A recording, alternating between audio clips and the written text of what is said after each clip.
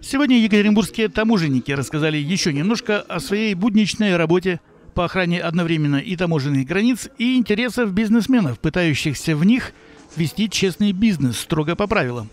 А правила с недавних пор таковы, что в странах Европейско-Азиатского экономического сообщества определенные группы товаров, обращающихся на общем рынке, должны иметь маркировку единым знаком ЕАС, который всем своим видом подтверждает, что товар прошел все установленные процедуры оценки качества и информирует покупателя о том, что продукция, выпущенная в обращение, требованиям всех технических регламентов наших соответствует. У таможенников, сработавших совместно с коллегами из Роспотребнадзора, были очень серьезные подозрения насчет законности ввоза партии спортивной одежды и обуви иноземного производства, продававшейся в одном из магазинов Екатеринбурга. Кроссовки детские, цвет темно-синий,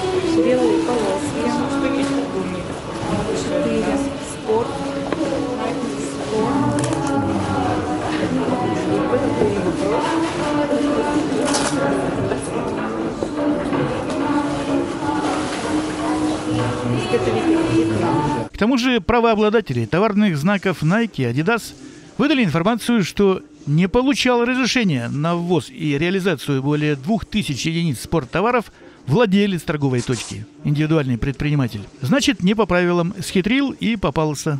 Для начала всю эту двухтысячную партию у него из магазина изъяли и арестовали, и составили протокол об административном нарушении, по которому предпринимателю с вероятностью в 100% грозит штраф, а арестованной продукции – конфискация.